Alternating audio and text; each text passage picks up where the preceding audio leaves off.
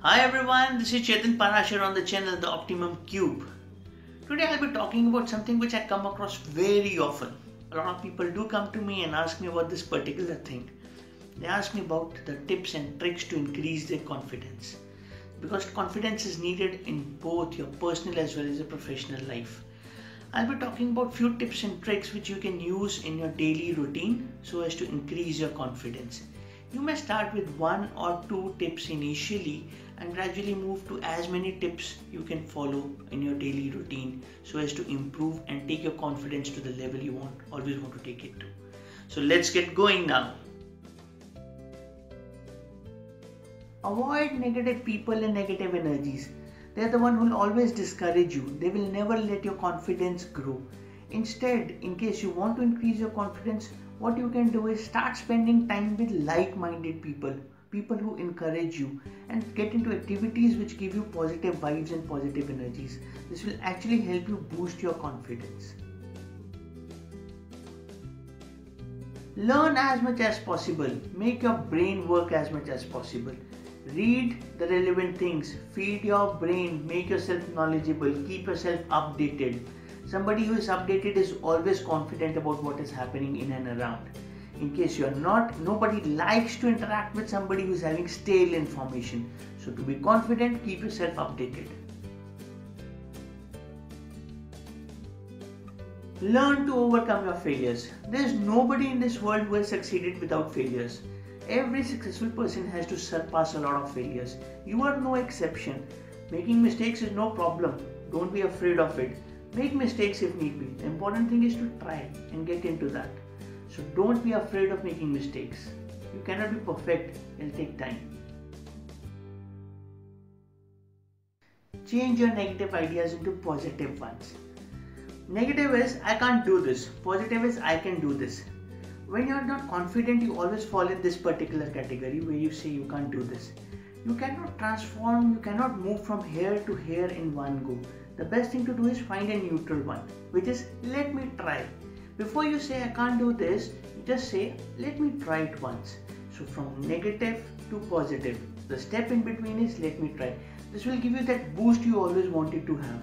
So this will move you from negative to neutral and then to the positive one. So start working on this. This will actually help you increase your confidence. Appreciate and compliment people. This is an amazing trick to work upon. This will make other people feel good about you. Exchange of positive vibes automatically happens as in when you appreciate people and you give them a compliment. People start feeling good about you, giving you your confidence the boost that you always wanted to have. So start working on this. This is an amazing trick to work upon. Identify things you are very good at. I'll give you an example here there are two situations. Situation a in which you're very comfortable you're very confident about it. And situation b where you know you're not very confident about. While working in situation b what you can do is think a bit about situation a.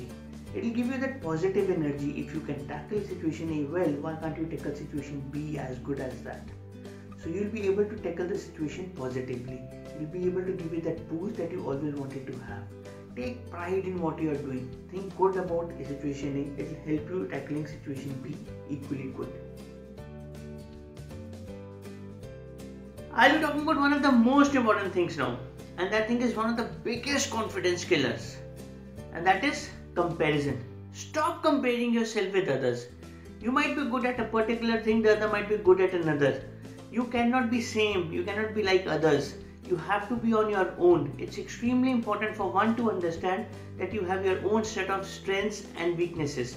So don't compare yourself with others all the time. That will never let your confidence grow. Helping others is not something which people feel very great about. But let me be very frank with you. As in when you help somebody, you start feeling proud about yourself. And when you feel proud about yourself, you start feeling confident about yourself. So it's extremely important that you should try and help as much as possible because it will give your confidence that boost that you always wanted.